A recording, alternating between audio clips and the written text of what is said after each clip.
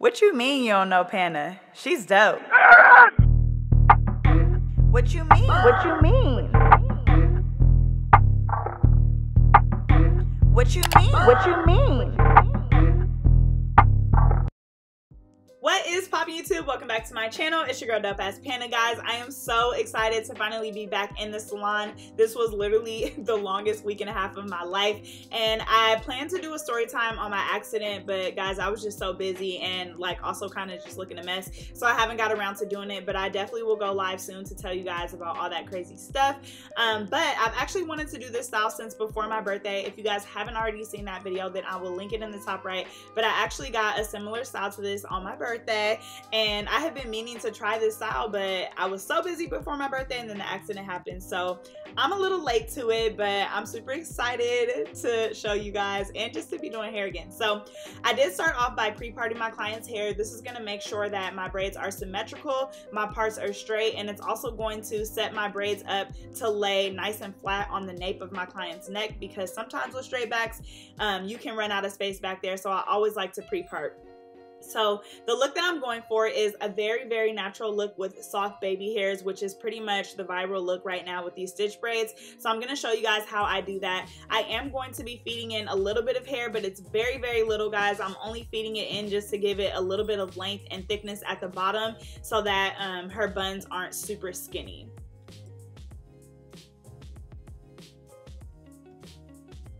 A lot of people have been asking me for a stitch braid tutorial, so I am going to talk you guys through what I did here. So after molding my client's hair in, typically I would part down the middle and stitch in from each side. But today what I did is I used my comb and I stitched all the way from one side to the other.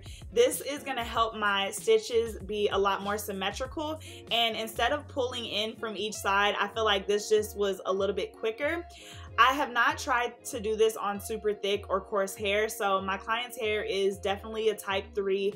Um, so it is a lot like a little bit fine, but just like not really hard to get through. So I will definitely be trying this method on someone with a little bit thicker hair, but I definitely, definitely saw a difference in my stitches and the way that they lined up by taking my comb all the way through versus stitching from one side to the other. So that's the first tip that I would give you guys. So the times that you guys see me using my pinky on the other side, I'm actually not creating stitches. I'm just removing like little stray hairs that may have fallen into the braid. So like I said, I am taking my comb and I am stitching it all the way through from one side to the other. So a couple things about stitch braids is like you really need to be able to control the hair. So you really need to make sure that you are using a product and really molding that braid into where you want it to sit and lay. And also just make sure that no stray hairs are getting into your braid because that will really mess up the stitch.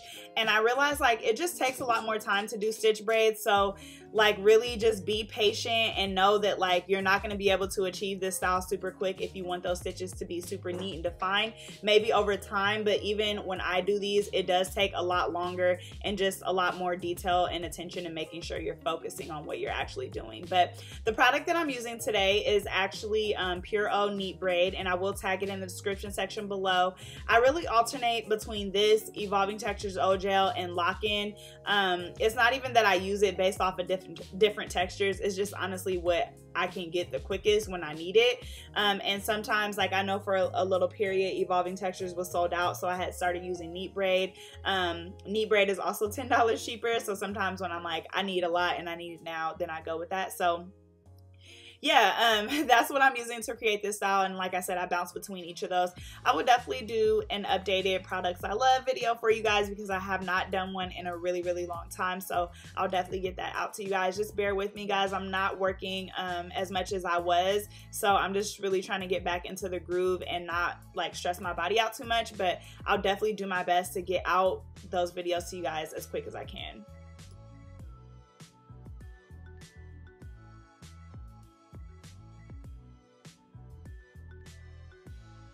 So I believe on this next braid here, you guys can definitely see a little better um, how I was stitching that. I do like using my pinky, but I like using the comb more. The thing about using your pinky fingernail is it is quicker and you can always put a nail on it just to make sure that you get a nice defined part. But honestly, guys, I just do not like having my nails done. Like, I hate getting fills. I hate going into the salon.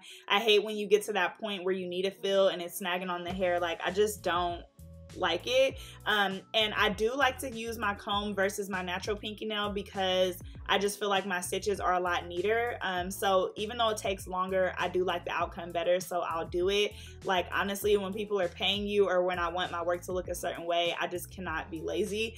And so um, if it takes a little more time, then that's fine with me. But you can definitely throw on a pinky nail and do your stitches with your pinky if that's you. I know a lot of people use press-ons. I actually had a subscriber make me some press-ons that I still haven't used yet. I'm so sorry, but I did receive them and I absolutely love them. Um, so yeah, you can always do press-ons also. It's just me and nails, y'all. Like, I'm so rough with my hands. I'm the type to get a full set and then literally like walk out the salon and open my car door and break a nail. Like, I'm just so rough. So it's not for me. Um, but I literally love the way that my stitches turned out with this comb. So one thing to make this style look super neat that I'm trying to do right now is make sure that I'm lining my stitches up with the braid next to it. Um, sometimes this can be tricky depending on your client's hairline because a braid might start up further or further back. So when I started these feed-in braids, I did try to make sure that I at least started them at the same point. And um, I did that just by pulling out a little more of her baby hairs that I am gonna trim.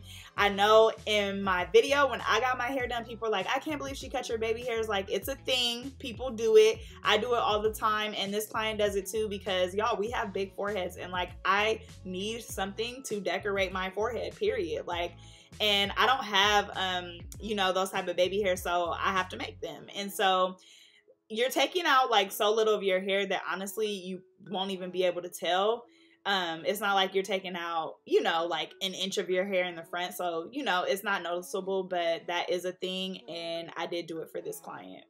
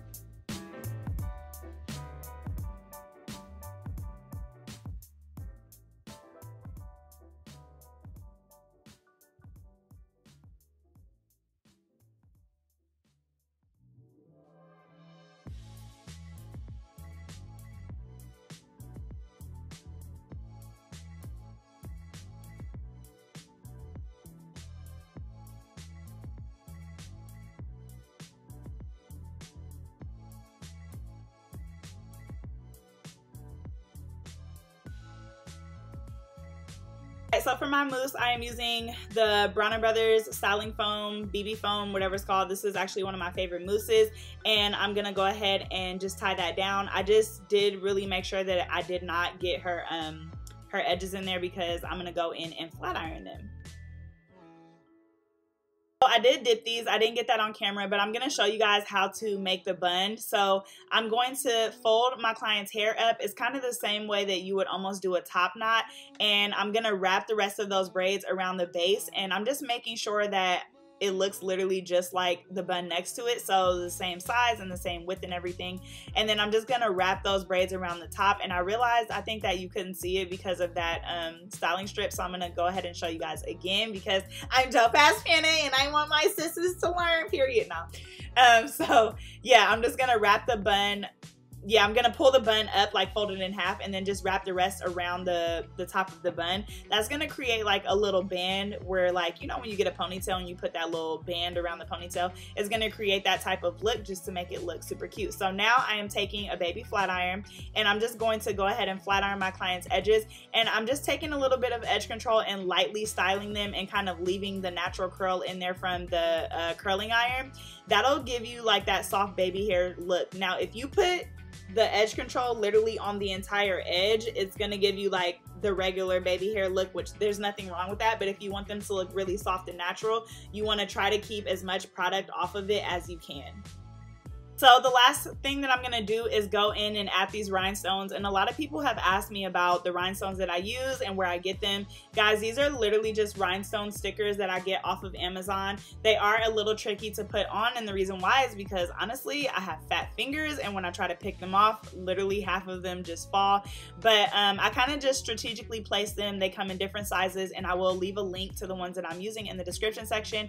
But I just thought that that added something cute to it or whatever. And once I stick those on, I do go ahead and use spritz and hairspray it just so that they stick. So guys, here is my finished look. She literally looks like a doll. I absolutely love her hair. If you guys are feeling this look, let me know in the comment section down below because period, I said, oh baby, I'm back back. It's a slay. I literally love this style. It's been super viral lately and I just had to like try it, you know.